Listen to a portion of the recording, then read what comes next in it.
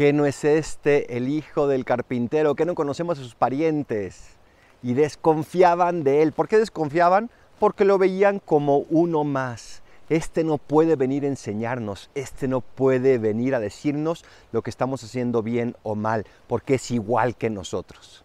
Qué equivocados estaban, porque detrás de ese hombre verdadero está también Dios verdadero no juzguemos las cosas de Dios desde una perspectiva puramente horizontal.